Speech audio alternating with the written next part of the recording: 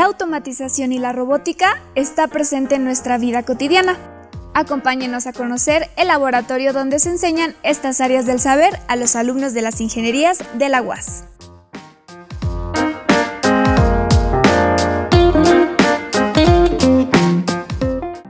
Mi área de trabajo fundamental es la automatización y la robótica, es decir, control, automatización y robótica.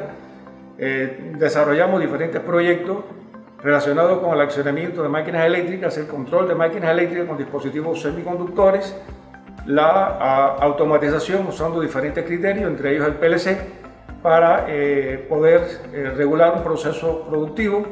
Y bueno, tenemos diferentes equipos acá en el laboratorio que eh, han sido desarrollados o han sido adquiridos a través del proyecto PIFI y también pues a través de las tesis de, de grado de los estudiantes de licenciatura y también de posgrado. Eh, vamos a mostrarle una, una máquina, que es una tesis que se desarrolló, que es el control de una máquina de inducción, de, eh, en este caso mediante un variador de velocidad. este sistema que tenemos implementado, aquí tenemos en la pared un variador de frecuencia, un variador de velocidad, y bueno, aquí tenemos el motor de inducción y bueno, acoplado mecánicamente al eje tenemos una máquina de corriente directa. Aquí el objetivo es poder variar la velocidad con un dispositivo semiconductor.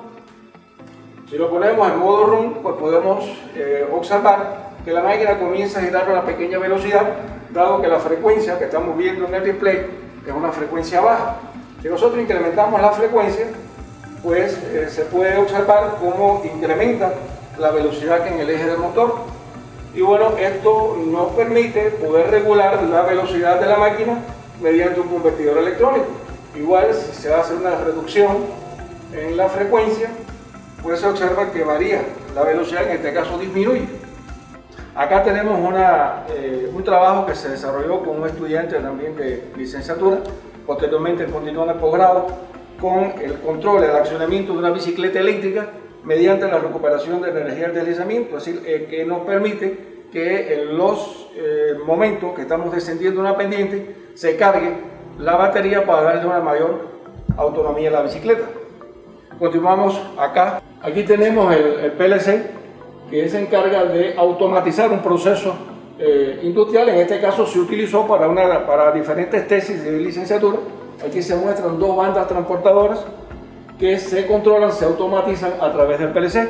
Hay otras tesis que también se ha utilizado el PLC para eh, un semáforo inteligente y se puede utilizar como un medio de control en diferentes procesos industriales.